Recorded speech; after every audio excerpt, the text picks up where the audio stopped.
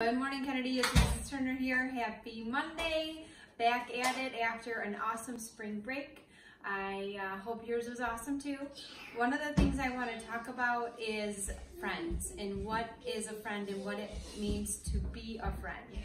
Um, especially on social media. I think it's pretty clear when you're in a classroom, at lunch, who your friends are, who you pick to sit with at a table, or who you decide to uh, sit by in class or talk to in the hallways.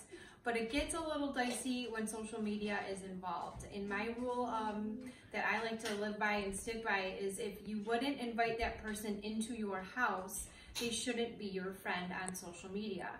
I know it's tempting and exhilarating and um, fun to get all of those likes and subscribers and shares and followers, but in all reality, it's probably not healthy, especially if some of the people that you don't get along with or don't like you're following or you're connecting with over social media.